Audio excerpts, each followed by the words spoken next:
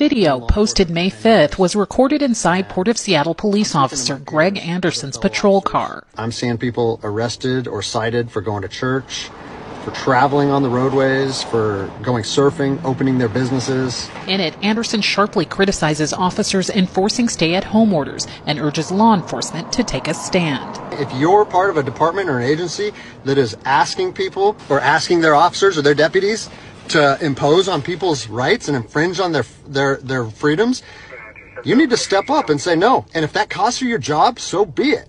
I've already expressed this to my department. And, and luckily for me, I come from a department that I feel like my chain of command shares my view. The video quickly garnered thousands of views, but fast forward one week, and Anderson is telling a very different story about his department. I got a call and it said, listen, the video needs to be taken down right now and you need to accept a letter of reprimand. Anderson